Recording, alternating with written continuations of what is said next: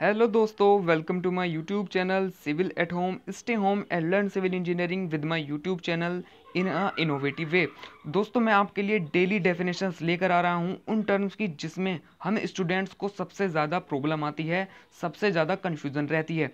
तो दोस्तों, देखिए आज के लिए डेफिनेशन क्या है? आज के लिए आपकी डेफिनेशन है परमेबिलिटी और सीपेज परमेबिलिटी और सीपेज में आज हम यहाँ पर डिफरेंस क्लियर करेंगे। दोनों की ही डेफिनेशन हम जान लेंगे कि दोनों की डेफिनेशन क्या होती है। अगर आपने वीडियो आज पूरा देख लिया तो दोस्तों आपका कोई भी डाउट्स इन दोनों टर्म से रिलेटेड बिल्कुल भी नहीं रहने वाला है।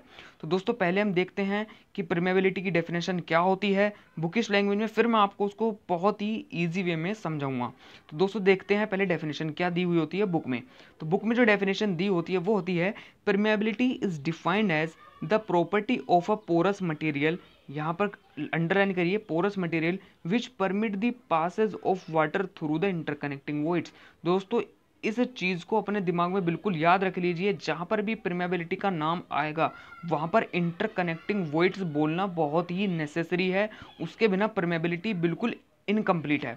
तो दोस्तों, यहाँ पर देखते हैं क्या है परमेबिलिटी का मतलब। परमेबिलिटी किसी भी मटेरियल की वो प्रॉपर्टी होती है जिसकी वजह से उसके जिसकी वजह से वो अपने अंदर से वाटर को पास करा देती है। किसकी हेल्प किसकी हेल्प से? With the help of inter connecting voids दोस्तों, याद रखिए with the help of inter connecting voids कोई भी मटेरियल अपने अंदर से पानी या किसी भी लिक्विड को पास करा देता है, उसे ही हम परमेबिलिटी कहते हैं। और यहाँ पर सबसे इंपॉर्टेंट बात जो मैं आपको बताने जा रहा हूँ सीपेज इसी से रिलेटेड मैं आपको बताने जा रहा हूँ सीपेज क्या होता है दोस्तों? तो सीपेज जो परमेबिलिटी का प्रोसेस होता है, उसी को हम क्या कहते हैं? उसी को हम सीपेज कहते हैं। दोस्तों, फिर से सुन लीजिए। परमेबिलिटी का जो प्रोसेस होता है, उसे ही हम सीपेज कहते हैं। मतलब जो ये passage of water through the interconnecting voids है, इसी प्रोसेस को हम क्या कहते हैं? इसी प्रोसेस को हम सीपेज कहते हैं। दोस्तों, फिर से मैं आपको नोट बता रहा हूँ कि इंटरकनेक्टिंग वॉइड्स बोलना ज़रूरी है। बिना इंटरकनेक्टिंग वॉइड्स के परमेबिलिटी नहीं हो सकती। ठीक है दोस्तों, जिस भी मटेरियल में इंटरकनेक्टिंग वॉइड्स होते हैं, वही अपने अंदर से किसी भी लिक्विड या वाटर को पास करा सकता है। अब हम एग्ज़ाम्पल से जानते हैं कि ये वर्क कैसे करता है और ये क्या होता है। तो दोस्तों, हम पहले देखते हैं एग्ज़ाम्पल के थ्रू मैं आपको समझाने की कोशिश करूँगा। मान लीजिए यहाँ पर ये आपके पास एक बॉडी है, जिसके अंदर सैंड पार्टिकल है यहाँ पर ये आपके पास।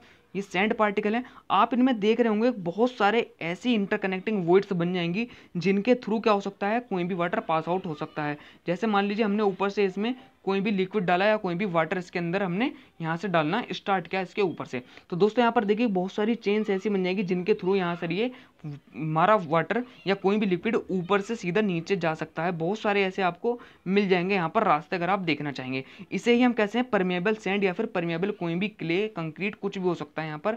वो होगा परमेबल अब मैं नॉन परमेबल आपको बताता हूँ, वो किस तरीके का होता है।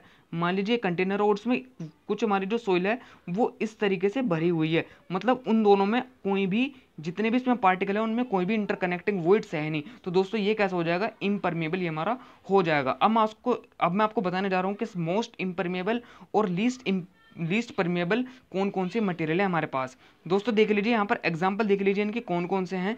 यहाँ पर देख लीजिए ग्रेवल जो मैंने आपको बताया ग्रेवल क्या होता है? सबसे ज़्यादा हाईली परमेबल होता है। ग्रेवल जो होते हैं हमारे सैंड के बड़े बड़े पार्ट्स होते हैं, उनको हम ग्रेवल कहते हैं। सबसे ज़्यादा परमेबल होता है। स्टिफ क्ले स्टिफ क्ले जो होती है क्ले दोस्तों आपको पता होगी, जिसका size zero point zero zero two m m होता है, उन्हें हम क्या कहते हैं क्ले वाली कैटेगरी में रखते हैं। तो दोस्तों सबसे ज़्यादा लीस्ट परमेबल होती है मतलब इनमें से पानी बिल्कुल भी पास आउट नहीं हो सकता, ठीक है? और ग्रेवल सबसे ज़्यादा क्या होता है, हमारा सबसे ज़्यादा परमेबल बॉडी होती है। फिर से यहाँ पर समझ लीजिए परमेबल और इम्परमेबल किसकी वजह से मैं आपको बताना चाह रहा हूँ? जैसे यहाँ पर ये यह होगा मैंने इसमें यहाँ पर एक लीटर पानी डाला है, यहाँ पर ये हमारे वोइड से मैंने यहाँ से एक लीटर पानी इसके ऊपर डाला तो सारा एक लीटर का एक लीटर पानी क्या हो गया? बाहर आ गया। ये क्या है हमारे ग्रेवल जो एक लीटर का एक लीटर पानी मैंने डाला और ये बाहर निकल गया। अब मैं बात करता हूँ किले की आपके पास। यहाँ से ये देख लिया मैंने क्ले मैंने यहाँ पर डाल दी इसके अंदर, और फिर से मैंने इसमें एक लीटर पानी डाला, लेकिन वो एक लीटर पानी नहीं निकल पाया, सारा का सारा नहीं निकल पाया।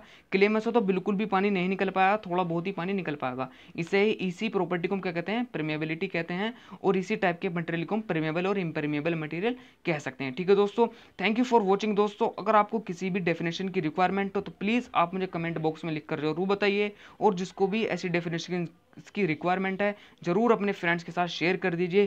Thank you guys thank you for your watching and attention please channel को सब्सक्राइब और शेयर वीडियो को